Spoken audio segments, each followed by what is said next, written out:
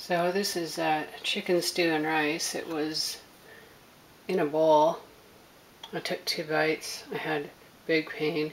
So now I pureed it. Uh, I had to get a straw. I might have to thin it with some rice milk or something to get it through the straw. But, you know, this is really, really fun. Really fun eating. I sympathize with my former patients, the stroke survivors who had to do things like this to eat safely. Um, now I really know, I really know. Although the pain, I guess, is different. Oh, yeah. It's, yeah, it's hell.